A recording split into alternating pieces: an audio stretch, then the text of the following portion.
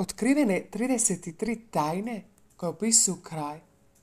Gospa ih je dala djevojčici, a crkva je odobrila ovo ukazanje. Gospa otkrila koji će to grad biti sjedište Antikrista. Radi se o ukazanju francuskom Lasaletu, odobreno ukazanje.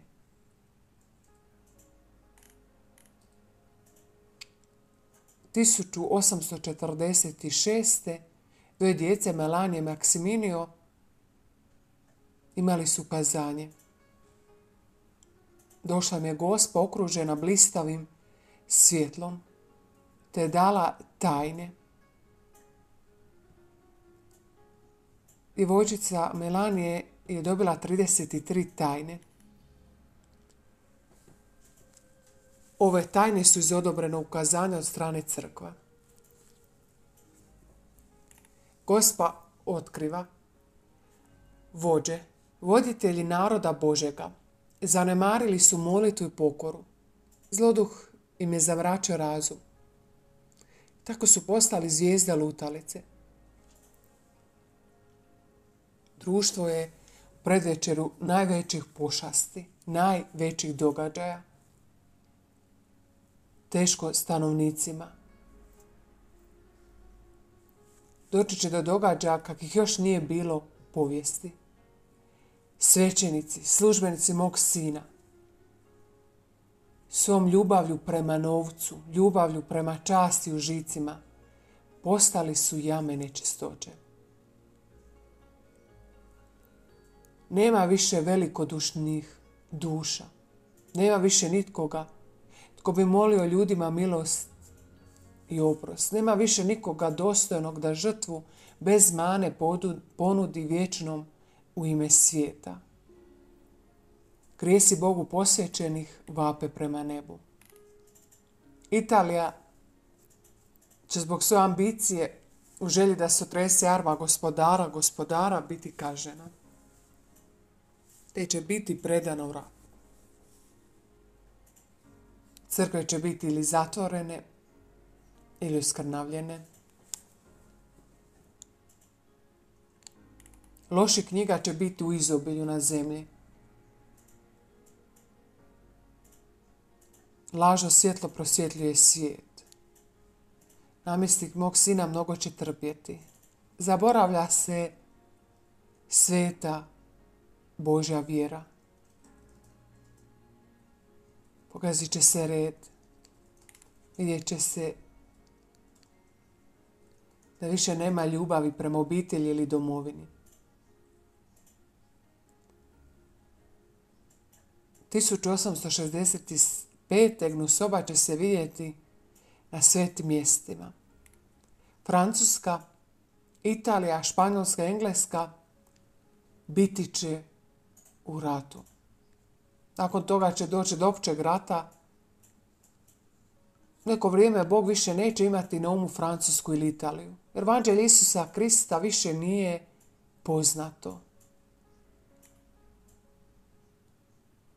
Priroda će zadrhtati. Nekoliko većih gradova biti će uzdrmano.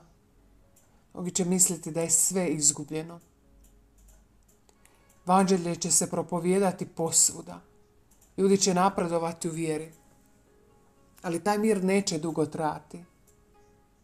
25 godina obilne žetve natjerat će ih da zaborave da su ljudski grijesi uzrok svih boli koji dolaze na zemlju. Preteće Antikrista borit će se protiv pravoga Krista. Zemlja će biti pogođena pošastima. Biće ratova blago poniznim dušama vođeni duhom svetom.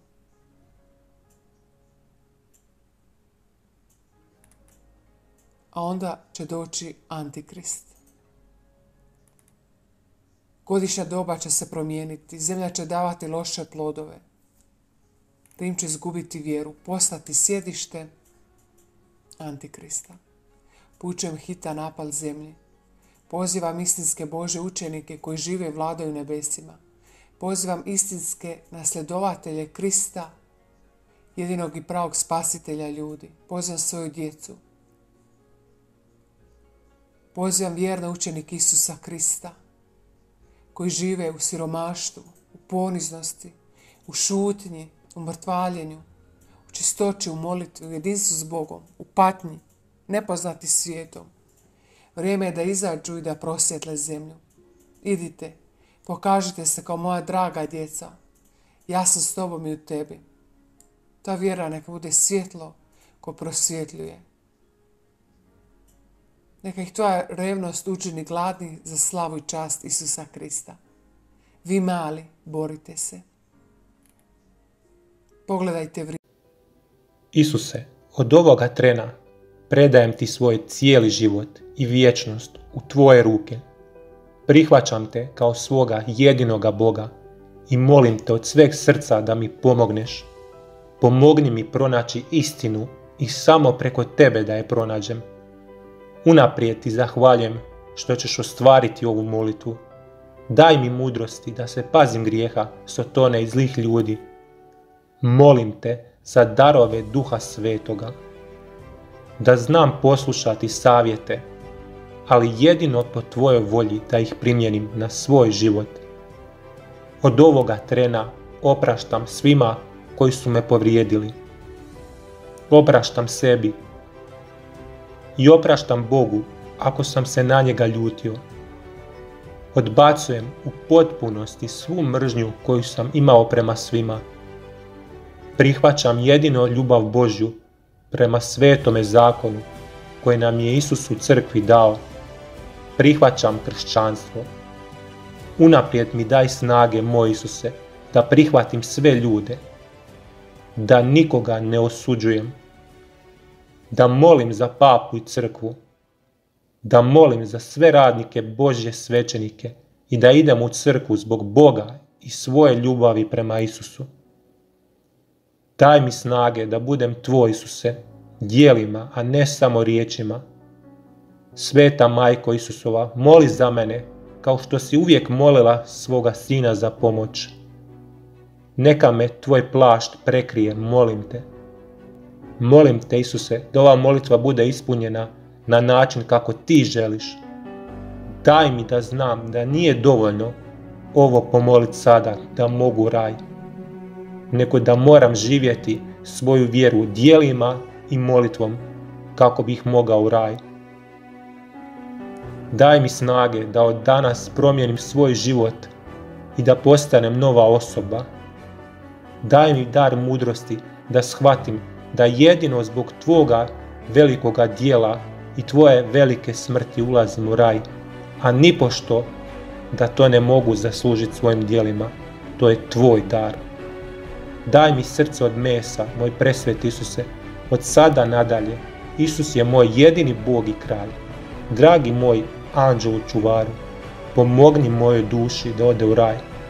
Potakni moju savjest na pomirenje sa ljudima, Bogom, ispovjedi, misom, pričesti na usta, po mogućnosti na koljena. I daj da budem gladan, da budem gladan za Biblijom i da imam duha svetoga da mi ju dobro objasni. Daj da pronađem dobre ljude, pobožne, koji će mi moći objasniti Bibliju. Daj da ne tjeram druge silom na vjeru, nego da po mojem primjeru dobroga života privučem što više ljudi. Da me nije sramota u društvu govoriti koliko mi Isus pomogao, koliko ga volim. Molim te, makni sve zlo od mene koje će me napasti, jer me Sotona ne želi vidjeti u raju. Makni od mene sve sumnje i kušnje koje primam u mislima. Daj mi snage, moj Isuse, i da kada djeluje, da me svi mrze i da tebe nema, da budem svjestan tvoje ljubavi i snage, da jedino ti mene nikada ne ostavljaš samoga, daj mi tu svjesnost, da me čuvaš preko anđela i svoje ljubavi, daj mi snage da prihvatim istinu da je jedino Isus Krist smisao života. Jedino je Krist ono što mene može učiniti zadovoljnim i sretnim. I On je moj jedini ulaz u raj. Daj mi snage da mogu dalje spoznati istinu i da ne, i ne dopusti da se hvatam svake krive riječi i greške koju pronalazim u drugim ljudima. daj mi dar opraštanja. Hvala ti, jer sad znam da jedino slobodnom voljom mogu prihvatiti Boga. Daj mi dar da te ne koristim, Isuse, samo kad meni paše, da te ne koristim samo kad mi trebaš i da te ne krivim za sve zlo koje vidim. Daj mi snage da ne budem sebičan. Daj mi dar da te ne pitam da mi sve objasniš, nego samo dar vjere, da ti vjerujem od sveg srca, sada i zauvijek. Amen.